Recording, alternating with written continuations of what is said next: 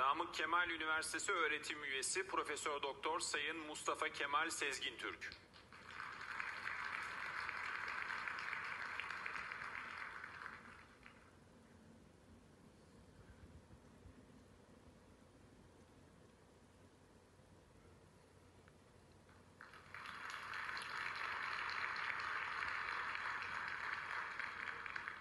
Koç Üniversitesi öğretim